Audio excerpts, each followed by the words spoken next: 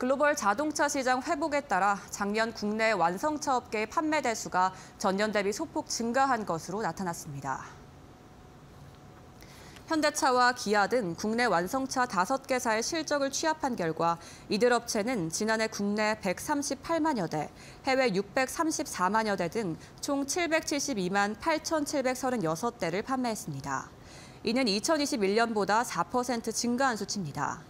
국내를 포함한 전 세계 판매 실적은 5개사 모두 전년 대비 증가했지만 내수 판매는 3.1% 감소했습니다.